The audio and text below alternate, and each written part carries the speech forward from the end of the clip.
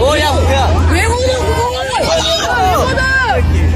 아 저기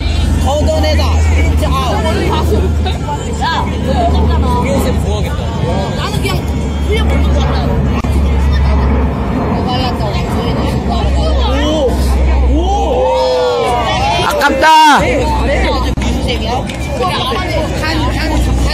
그으셨어요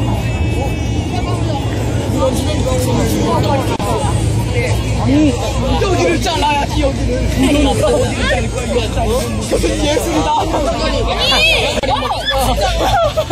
양말이 이거 세진이 아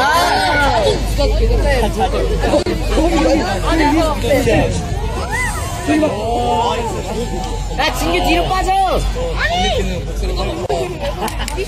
조윤이 씨발